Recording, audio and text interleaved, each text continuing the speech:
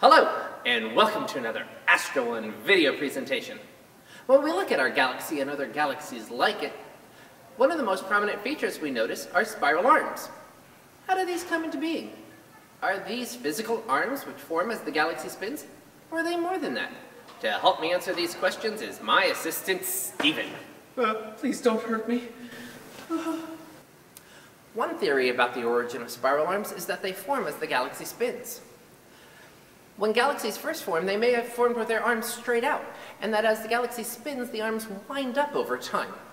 But if this is the case, then we would expect to see some tightly wound arms in some galaxies, considering that the ages of galaxies are billions of years old, but we don't.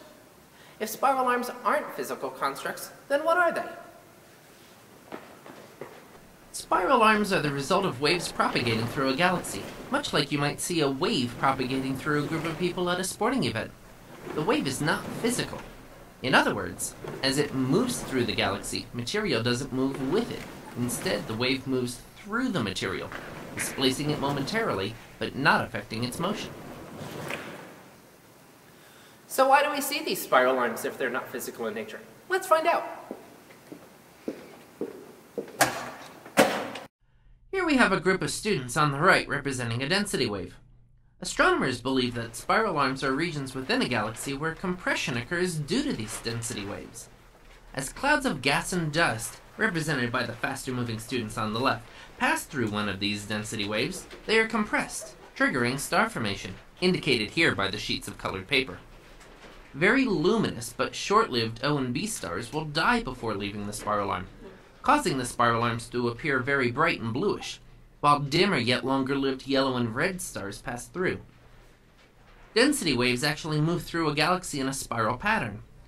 Faster moving material which orbits the center of a galaxy will move into a spiral density region, become compressed, and then move out the other side, continuing its orbit.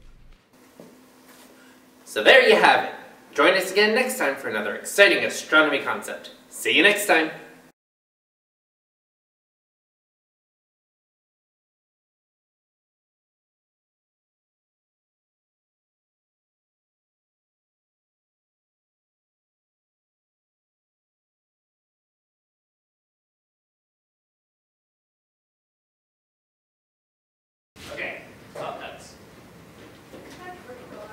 What's that?